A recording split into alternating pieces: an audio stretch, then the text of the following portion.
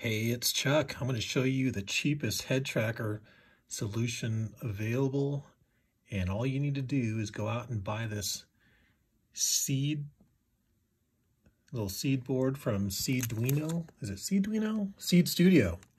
it's the Seeed Studio Xiao NRF 52840 Sense. The Sense is important because that has a gyroscope in it also has Bluetooth and stuff, but I have this wired right now. So all you need to do to have it wired is to jump the, um, what is it, uh,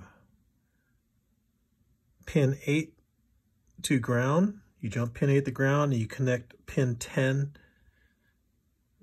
And uh, yeah, 10 is the tip of your of your phono jack to your trainer. Trainer signal lost. You plug this into your trainer port on your radio, which is right there. Trainer signal recovered. Trainer signal lost. Come on, recover, please. Trainer signal recovered. Trainer signal lost. Ah, I don't have it all the way in. Trainer signal recovered. All right, so then I have the drone here. So I have it set up so that I can control the the pitch of the camera using this switch right here.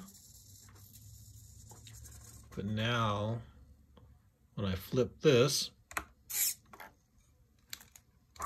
oops, I started trying to use this with one hand. Look at this.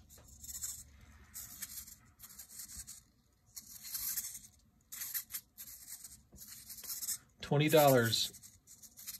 Hook this up to your radio. It's all good. Look up, look down. Look up, look down. All right, there you go. The cheapest head tracker solution available, 20 bucks.